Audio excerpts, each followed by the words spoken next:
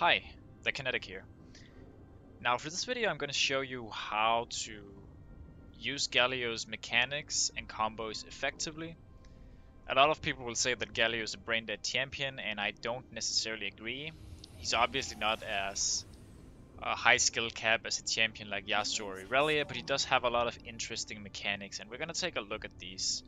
Some of them might be fairly obvious, but some of them are also a little more subtle.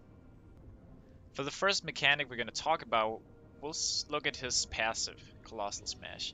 And this ability does a smash on the ground that hits a big AoE around it. As you can see, it's actually quite a large AoE. Uh, deceptively large, actually. Now, how can we use this? What I would uh, like to show you is what I call the passive range extender, which is essentially if you're up against your opponent and he's here and there's a minion in front of him or even just another enemy, you can actually still hit him with the full passive. Notice how far away I am from this guy. I can still hit him. It's almost as if I'm ranged. This is mostly useful in lane where you can use it to poke your opponents uh, when they go for last hits. For the next mechanic we're going to talk about this is Q, and this is also fairly simple. So, here, I can't hit him, right? So what I'm going to do is I'm going to Q Flash. Very simple, very effective.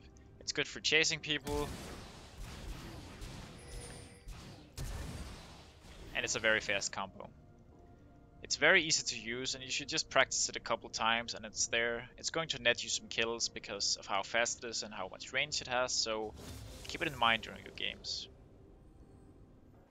The next really important Galio mechanic is using the Q correctly. And now his Q consists not just of the tornado in the middle, but it consists of these two arcs that come out here from behind him. And they also deal the damage, which means that you can use them to effectively wave clear. Right? Want to abuse that we have this sort of angle and use it to clear waves. Now the best way of doing it, in my opinion, let's just flash over here, is to pull out these three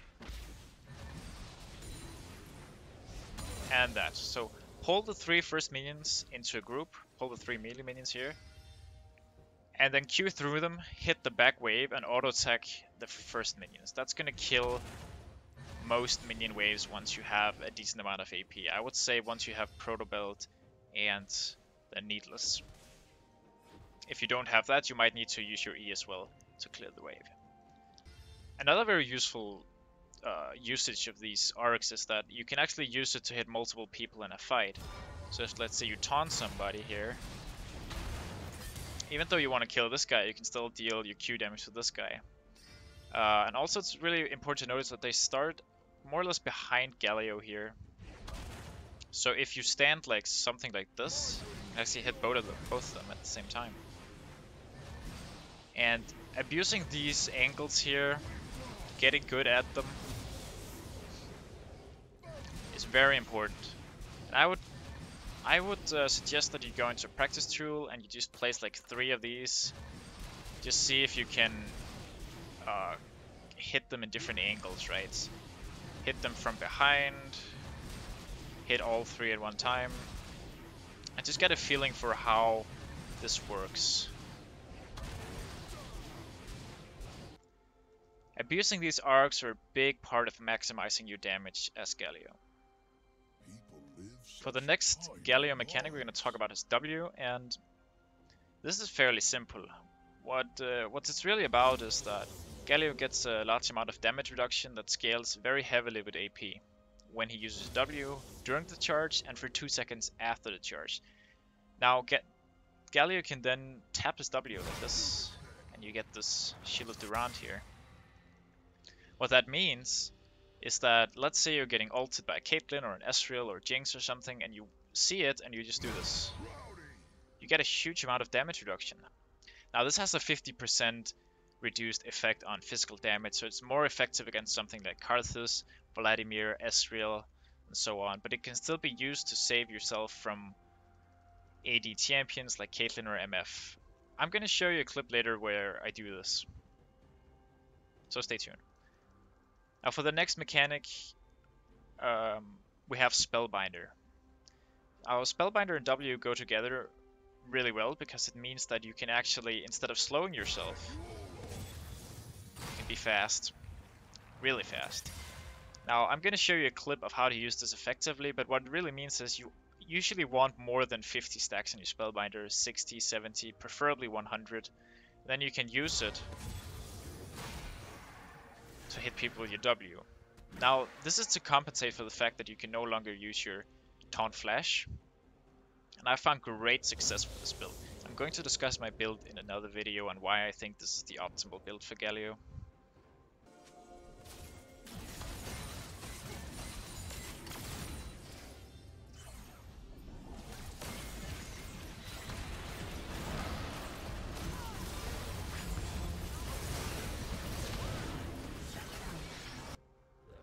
So now we go to the E mechanics, and the E mechanics are the most extensive mechanics that Galio has. And uh, the most important one is the E cancel. So Galio's dash is actually two dashes, one and two. A dash backwards and a dash forward. Now, you can actually cancel the first part of the dash so that the second part has a shorter distance to travel and therefore comes out faster. You can do this by hugging a wall so you can see the first part of the dash does not go through, but since he doesn't have as much distance to travel because he didn't jump backwards, the dash is actually quicker. It's fairly noticeable. the dash speed is the same, but the distance is smaller. Now, how do we use this effectively? Well, there are a number of ways to do it. I'm going to show you a few good jumps that you can do to surprise your opponents. Engaging in mid lane.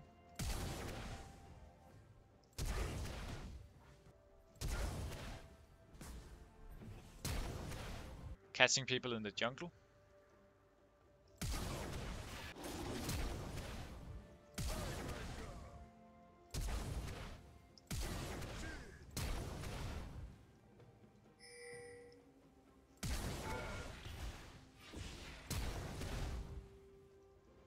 I would suggest that you go into practice tool and practice all of these jumps. It's very, very useful. Another really good one is this one, standing at the tower. If they're trying to harass you here, you can actually surprise them from tower. And it's a lot faster. Same thing goes for lane here. If you're farming and they're trying to harass you, you can just hug this wall.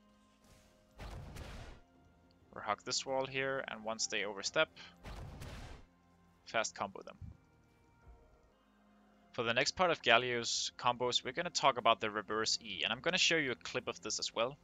What it really means is that instead of going forward to hit somebody, you will walk a little bit closer and then you will E the other way. Now you will still hit them with this and this is really useful because if you use your E here and the enemy has a dash, he dashes out of the way and suddenly you're over here, you're overextended and the jungler could be here, they could start fighting back. Let's say it's a Pyke, you E him and he just E's away and you get stunned and hooked into tower, right? You don't want that. What the reverse E does is that it has a lot lower range and you have to get a little closer. But you can actually hit people here with it and then if they dodge it, you're out, right? You're not overextended anymore. So it's really useful and against a certain uh, subset of matchups where they have these abilities, there could be something like Pyke, especially Pyke, but also Lucian and Fizz and Ahri post 6, um, even something like junglers, like Graves and so on, it's really effective. Uh, because you don't want to dash too far into their faces and get killed for it. Yasuo is also a really good candidate to do this with. I'm going to show you a clip of me doing this against the Fizz.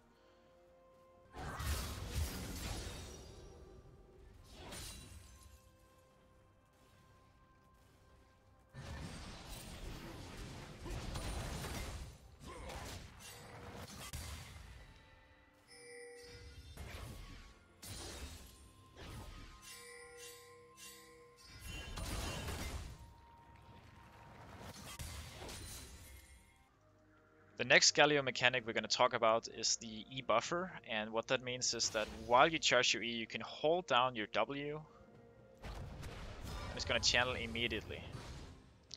Now this is useful for when you want to CC chain somebody, because you can get the most, uh, the longest duration on your W this way. There's no reaction for him, right? And he takes the full combo.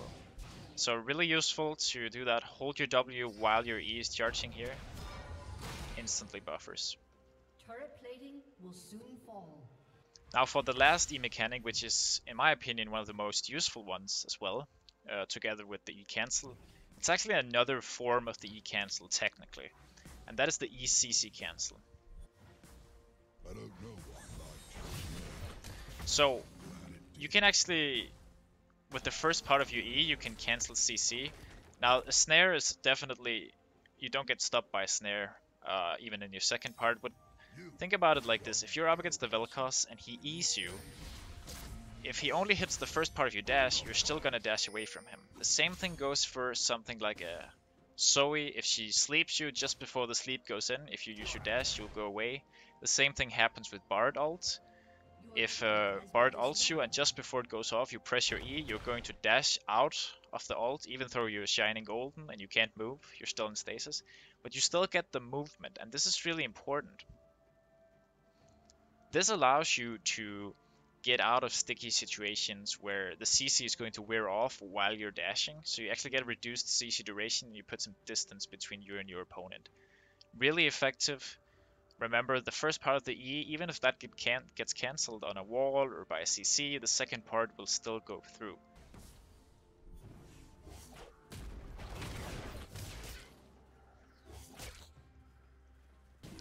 So when they changed Galio's ultimate so that it would give his allies the magic damage shield, they also made an undocumented change that's really useful. Now obviously you can use this to save your allies from something like a Karthus ult, Vladimir, Katarina, all these kinds of abilities. But another way of using it is, is this. So look at my magic damage shield here. It disappears, right? But once I ult... Yeah, you can, she can cancel that. Once I ult, the magic damage shield refreshes. Right? And this is really useful if you're getting... Let's say you just killed a Karthus or something. I'm gonna show you a clip where exactly this happens, or something like it. You just killed the Karthus, and uh, now he ults you. You're very low. And you can actually ult your teammates to save yourself. Uh, this is really, really useful.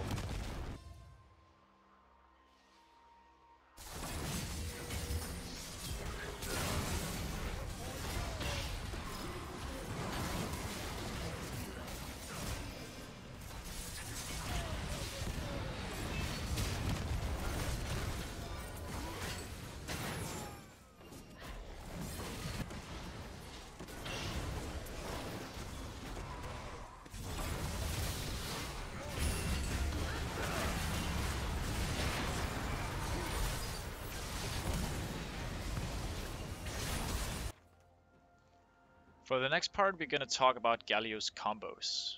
And for Galio's combos, um, there are not that many, but there are some useful ones that we need to know. So this is the standard combo. And I call it the standard combo because this is what I do 90% of the time when I want to kill somebody with my combo, but I don't want them to flash away. So this is a complete CC lock. So I use my E,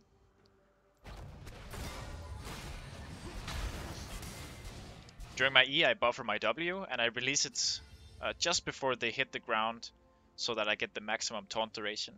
Then I Q first and auto attack. And then you can obviously add Proto Belt, Ignite, and so on. If you have them. Now, the reason we do the Q passive instead of the... Uh, because a lot of people would like to passive first and then Q after, but if you do passive, Q, that's really slow compared to just doing the Q passive. That hits at the same time, right? So look at like this. This uh, hits them when they're in the CC, but if you use your passive first, it's way too slow, so they can actually flash the Q and survive. the other reason we use Q first is because we want as many ticks as possible, right? It has this tornado that ticks them four times. And if we use it first, well, it's gonna tick more. So, now, the other combo you can do is the brush combo. And this is when you can actually charge your W fully. They're coming towards a brush, you charge it.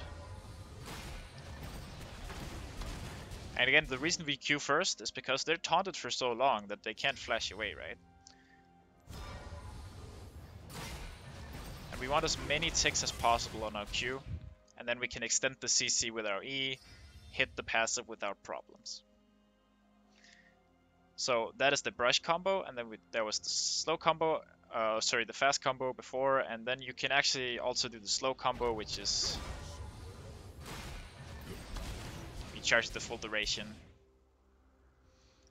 Um, and that's only when you know they can't dash away or uh, because if you have Spellbinder up, there's no way they they can they can't flash away anyway, so you can actually do the full charge up there as well. If they're alone and you're not in danger of being CC'd, this is a way to go. So, now the final combo I would like to show you guys is the, um, I call really the fast burst combo. I don't really have names, but that's what I just named it now. Now, it works like this. Let's say there's an enemy here, he's kind of low, you want to kill him, right? It's an AD carry. So the way it works is you Q flash, you hold your cursor on their, their heads, right? You Q, it doesn't matter if you're close to them, you just want the flash to close distance, right? So you Q flash, Proto Belt, auto ignite. Now this is a very, very fast combo. You don't get the W damage, you don't get the E damage, but it's incredibly hard to react to, and with Ignite, uh, it can usually kill a squishy opponent from uh, about 60-70% HP in the late game when you have a lot of items. Uh, it's a very, very powerful combo if you can pull it off. And if you're... Just before you do it, you can activate your Spellbinder, to get even more AP. Let's say you had maybe a 80 AP stored there, that would be a lot more damage as well. And that also allows you to, because after you then do the combo, you can use your Spellbinder to move towards the rest of the team. So there's a lot of options there, but practice this combo especially to kill people really fast.